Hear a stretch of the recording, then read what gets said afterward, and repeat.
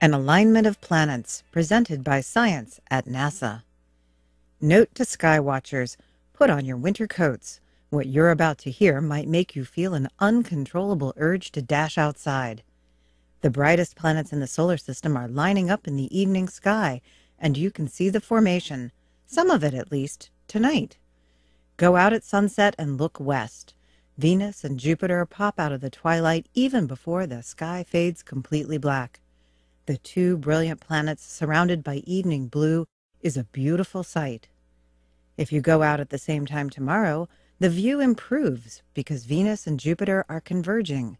In mid February, they are about 20 degrees apart. By the end of the month, the angle narrows to only 10 degrees, so close that you can hide them together behind your outstretched palm. Their combined beauty grows each night as the distance between them shrinks. A special night to look is Saturday, February 25th, when the crescent moon moves in to form a slender heavenly triangle with Venus, Jupiter, and the moon as vertices.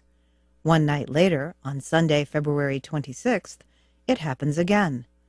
This arrangement will be visible all around the world, from city and countryside alike. The moon, Venus, and Jupiter are the brightest objects in the night sky.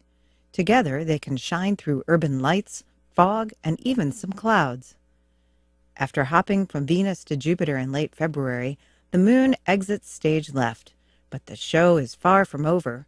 In March, Venus and Jupiter continue their relentless convergence until, on March 12th and 13th, the duo lie only three degrees apart, a spectacular double beacon in the sunset sky. Now you'll be able to hide them together behind a pair of outstretched fingertips. There's something mesmerizing about stars and planets bunched together in this way, and no, you're not imagining things when it happens to you. The phenomenon is based on the anatomy of the human eye. Your eye is a bit like a digital camera, explains optometrist Dr. Stuart Hiroyasu of Bishop, California. There's a lens in front to focus the light, and a photo array behind the lens to capture the image. The photo array in your eye is called the retina, it's made of rods and cones, the organic equivalent of electronic pixels.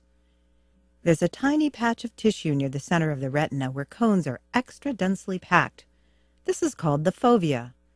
Whatever you see with the fovea, you see in high definition, Hiroyasu says. The fovea is critical to reading, driving, watching television. The fovea has the brain's attention. In the weeks ahead, the moon and planets will frequently appear near enough to each other for us to see them in high definition. The field of view of the fovea is only about 5 degrees wide. Almost every night in March, Venus and Jupiter will fit within that narrow cone. And when they do, presto, it's spellbinding astronomy. Standing outdoors, mesmerized by planets aligned in a late winter sunset, you might just forget how cold you feel. Bring a coat anyway. For more spellbinding science news, check science.nasa.gov.